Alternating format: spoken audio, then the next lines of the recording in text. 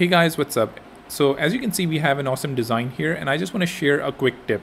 Like for example, if I want to select this text, I can keep on pressing click, but I cannot select it. I can obviously go ahead on the left hand sidebar and try to find out where this text is.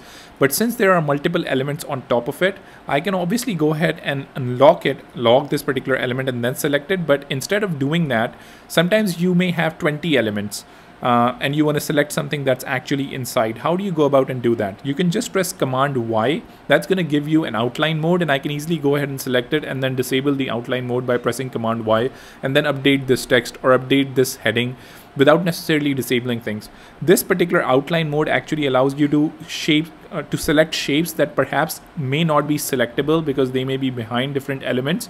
So you can easily go ahead and select them. I can move this particular thing around which is actually applying a gradient to this particular element.